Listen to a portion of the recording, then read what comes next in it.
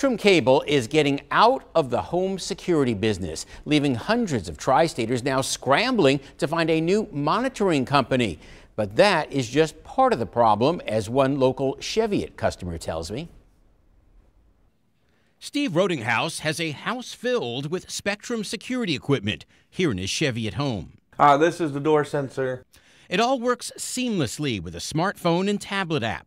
Um, I can control the thermostat.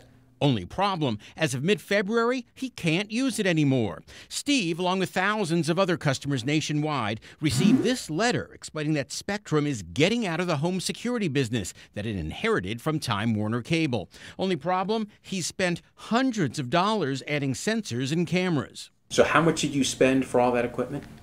Almost $900. Uh, two cameras, motion sensors, door sensors, window sensors. The problem, Steve says, is that once the service is discontinued, he'll no longer be able to access his cameras or his door chimes from his tablet or his phone. Spectrum confirms to us their equipment will not work with any other home security company, and Spectrum is not offering refunds.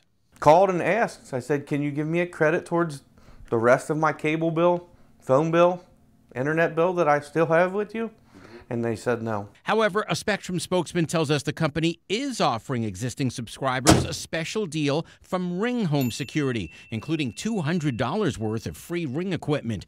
But Steve says that's a fraction of the setup he has here in his house, equipment that in a few weeks will become useless. Now, Spectrum's also offering a discount plan from Abode Home Security, but that company cannot use existing equipment either.